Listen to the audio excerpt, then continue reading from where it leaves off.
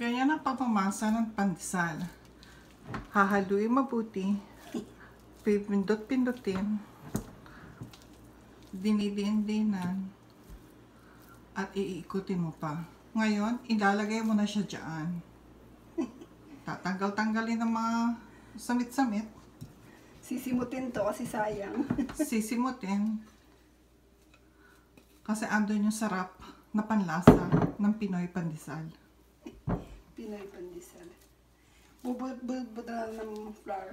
Binubudburan ng flour, in Tagalog, arena, habang iniikot at minamasa ito sa isang working table. In English, kneading. Habang minamasa mo ito,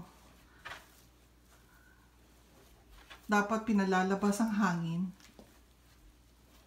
Masa-masa pa ni Chef Ai ng Folsom, California at tinitinin para palabasin ang hangin ng harina, kailangan gamitin ang mga palad. Ikutin siya at ikutin at pahabain pa siya.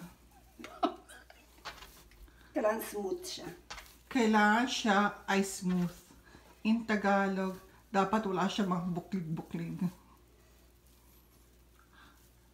Sasalatin mo ang arena kung meron siyang bubo. Ididiin mo siya ng mga palad habang siya iniikot.